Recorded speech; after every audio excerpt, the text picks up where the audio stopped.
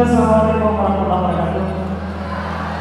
Uh, terima kasih dan selamat atas uh, adanya acara festival Fulmi dan filsafat yang ketiga. Uh, kami sebagai Raja 13 uh, merasa mestinya acara seperti ini lebih sering diadakan di kampus. Karena apa?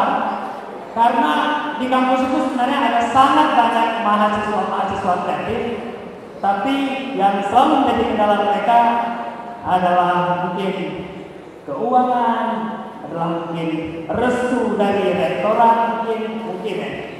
Uh, okay.